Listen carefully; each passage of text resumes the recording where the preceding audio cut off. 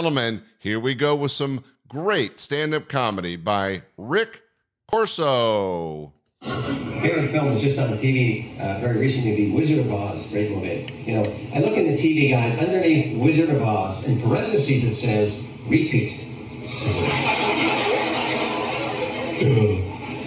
What, did you see that remake, that uh, Return to Oz, I think? Kind of disappointing. I really wanted Joan Rivers to play Dorothy the second time. Oh my god, you so tacky. Munchkins grow up. I would change the whole movie. Woody Allen would be the wizard. It's incredible. He's expecting to be a wizard.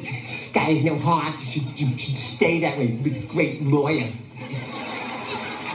Dustin Hoffman, thank you. Dustin Hoffman is Toto. I don't want to be Toto. I want to be Dorothy. You saw Tootsie. I was Dorothy. Come on. John Travolta is the Scarecrow. What? Where? How am I supposed to know I got no brain? Robert De Niro is the Cowardly Lion.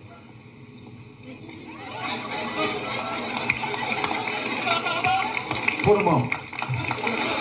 Did you step on my tail? Did you step on my tail? Did you step on my tail? Wow, I should have opened with that. Yeah. Maybe